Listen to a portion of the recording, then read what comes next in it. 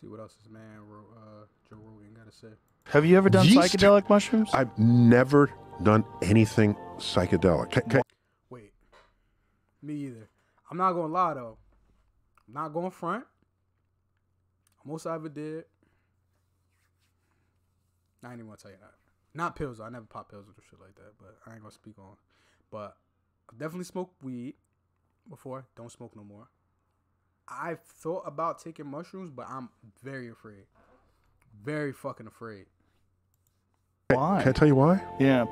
For the simple fact that I've heard too many stories about people having trips and never come, never being the same again. That shit has scared me because it's psychedelic. Is your mind. Your mind is probably the most important fucking thing on your body. Like that makes your makes your body work, makes everything move and maneuver the way that it's supposed to. So if you fuck this up, everything else is gonna be fucked up, and I can't have that. Niggas got shit to do. Can't be no fucking vegetable. I can't have people taking care of me. Come on, nah, nah, nah.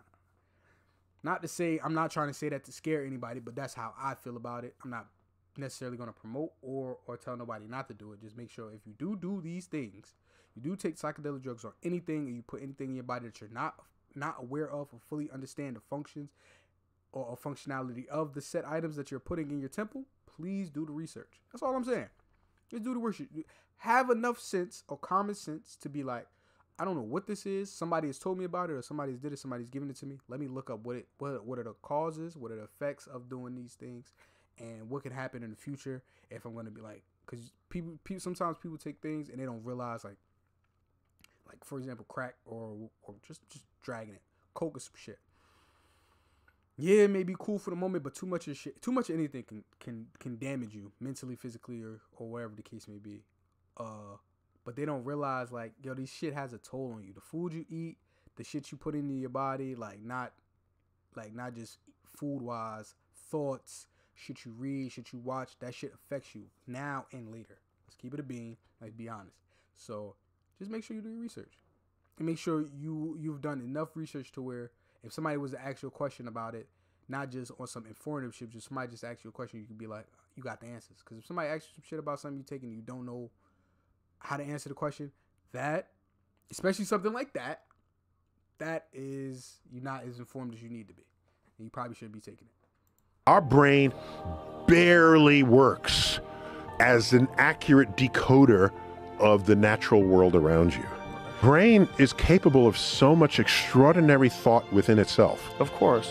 that uh, what I care about for the world is what is objectively true. And what's objectively true can be verified by multiple people. And if it's only true within your head, it's not useful, is all I'm saying. Don't agree. if it's only useful in your head, it's not useful for the world. Don't agree. How could it not be useful To- if to it's other useful people. to you? Oh, and yeah. if useful I to know, no, you, useful to other but people. hold on, Other if it's people. useful to you, and then that usefulness to you actually manifests itself in something that gets created because of this experience, like Kary Mullis created the PCR method because he had an acid trip, and during the acid trip came up with this idea. Have you ever done Yeast. psychedelic? I don't know what any of that what that PCR shit is. These are the top. Have you ever- he was talking about? But um, hmm. And again, acid trips, bro. All that shit is crazy, bro. It could. People say they use it for emotional purposes or for spiritual purposes. I just be seeing, like, people talk about what happens, like during the trips or whatever the case may be, and they say you constantly are supposed to remind yourself that you're on a trip because you could fuck around and fuck your mind up, and that's crazy. I gotta keep remind when I when I used to smoke weed, I never used to think like, damn, I gotta keep telling myself I'm high. I knew I was high. You telling me, and, and that's another thing. I don't even know how long that psychedelic shit lasts. Who's to say I have a trip today and I mean I could still be high tomorrow? I don't ever want no shit like that. But I mean, maybe realistically, they had to be using psychedelic drugs back in the day. Like, I'm not talking about like the the the slavery day. I'm talking about before slavery and all of that other conceptions.